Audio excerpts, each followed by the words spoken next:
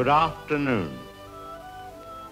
Here we have a quiet little motel tucked away off the main highway and as you see, perfectly harmless looking. When in fact, it has now become known as the scene of the crime. This motel also has, as an adjunct, an old house, which is, if I may say so, a little more sinister looking, less innocent than the motel itself. And in this house, the most dire, horrible events took place. I think we can go inside because the place is up for sale, although I don't know who's going to buy it now. In that window on the second floor, the single one in front, that's where the woman was first seen. Let's go inside.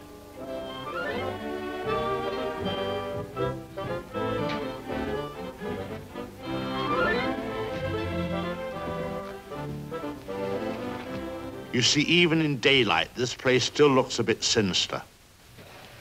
Now, it was at the top of these stairs that the second murder took place.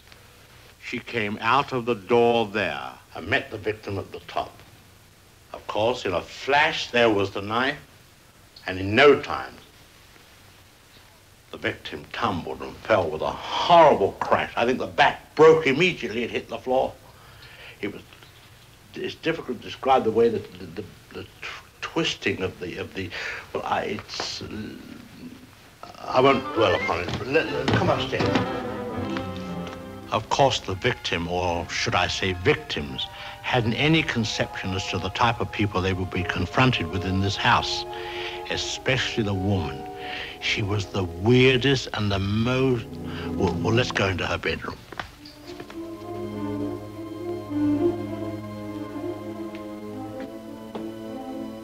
Here's the woman's room, still beautifully preserved.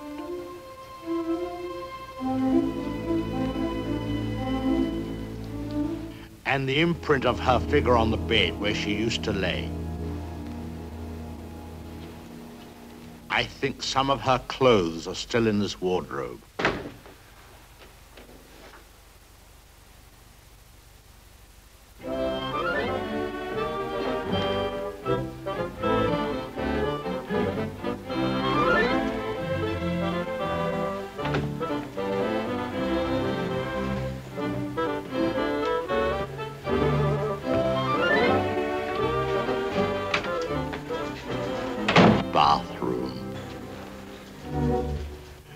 Was the son's room, but uh, we won't go in there because his favorite spot was the little parlor behind his office in the motel.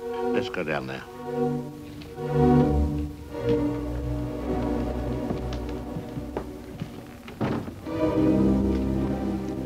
This young man, you had to feel sorry for him.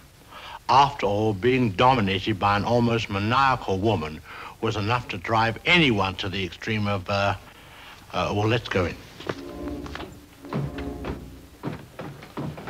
Well, I suppose you'd call this his hideaway. His hobby, as you see, was taxidermy. Crow here, an owl there. Now, an important scene took place in this room. There was a private supper here. And, uh, oh, by the way, this picture has great significance because uh, let's go along to cabin number one. I want to show you something there.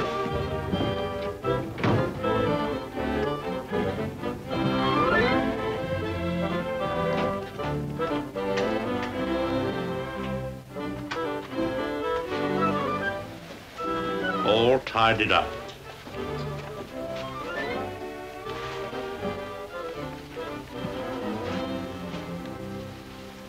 the bathroom.